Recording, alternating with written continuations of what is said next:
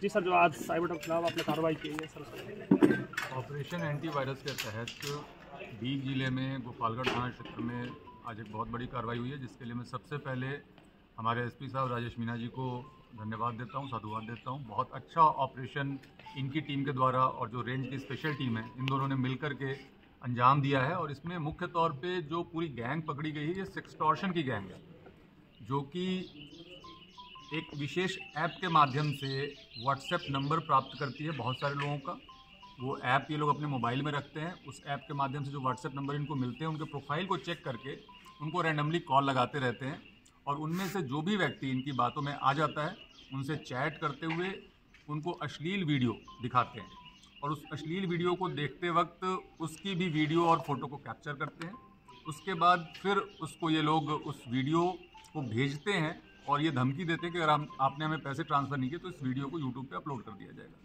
इसके बाद यूट्यूब के अधिकारी बन के और पुलिस के अधिकारी बन के भी उसको धमकाया जाता है और उसके माध्यम से उससे पैसे प्राप्त किए जाते हैं। ये जो पूरा का पूरा गैंग है, इसमें ई मित्र संचालक भी शामिल है, जो कि इस तरह के जो मिनी ए होते हैं, इसके माध्यम से पैसे निकाल करके उनको देता रहता है जो ये साइबर ठग है। उसके अलावा जो स्वैप मशीन आप देख रहे हैं, इसके माध्यम से भी पैसे निकाल करके उनको देता रहता है। तो बिना एटीएम पे जाए भी ये लोग इस प्रकार से साइबर ठगी के पैसे को प्राप्त कर रहे हैं और उसको निकाल रहे हैं। आज की जो कार्रवाई है, इसमें अभी तक हम लोगों ने पंद्रह साइबर अपराधियों को और उनका साथ देने वाले लोगों जो पूरी गैंग है, उसको गिरफ़्तार किया है। तीन जगहों पे दबिश हुई थी, पथराली, रायबका और हैवतका में।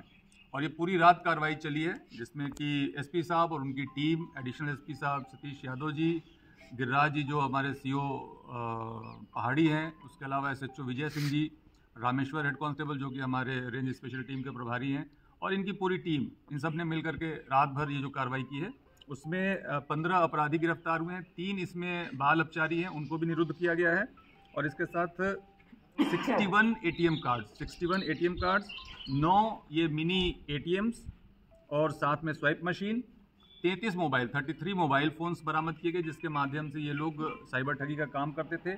छः कंप्यूटर और लैपटॉप बरामद किया गया है और इसके अलावा चार फोर व्हीकल क्रेटा ब्रेजा वी ये सारी गाड़ियाँ भी जब्त की गई हैं इनसे और तीन बाइक जब्त किए गए इसके अलावा इनके पास काफ़ी सारे पासबुक भी मिले हैं पासपोर्ट भी मिले हैं सिम भी मिला है और बहुत सारी चीज़ें मिली जिसका इस्तेमाल ये लोग साइबर ठगी के लिए कर रहे हैं। अभी इनसे आगे और पूछताछ करके इनकी पूरी गैंग का पता किया जाएगा और फिर जो अन्य लोग इनसे जुड़े हुए इस नेटवर्क में हैं, उनको भी गिरफ़्तार किया जाएगा। साथ ही इसमें इस प्रकार से जो पूरा ट्रांजैक्शन बैंक के माध्यम से हो रहा है, उसमें बैंक अधिकारियों से भी पूछताछ की जाएगी। जो एटीएम्स इतनी आसानी से इनको मिल रहा है, उसमें हम लोग मोबाइल कंपनी के जो प्रतिनिधि हैं और जो उनके मैनेजर्स हैं, उनसे भी हम लोग बात करेंगे, उनसे भी पूछताछ की जाएगी।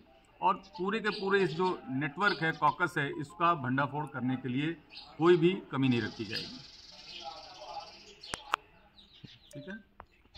घटना को अंजाम दिया कितने लोगों को शिकार बनाया है कितने लोगों को शिकार बनाया है, वो हम लोग पता करते हैं जब इनका मोबाइल नंबर अभी हम लोग जितने मोबाइल सीज़ किए हैं, जब उस मोबाइल नंबर को हम लोग वन नाइन थ्री ज़ीरो, जो साइबर हेल्पलाइन है, जिसमें कि आप लोग अपने साइबर ऑफेंस या क्राइम को रजिस्टर कराते हैं, उसके ऊपर हम इसको चेक करते हैं। उससे हमें पता चल जाता है कि इन्होंने हज़ारों के साथ, एक हज़ार, दो हज़ार, दस हज़ार कितनों के साथ किया इस अपराध को, और उसके माध्यम से ही फिर इनकी अलग अलग मुकदमों की गिरफ्तारी होती जाएगी।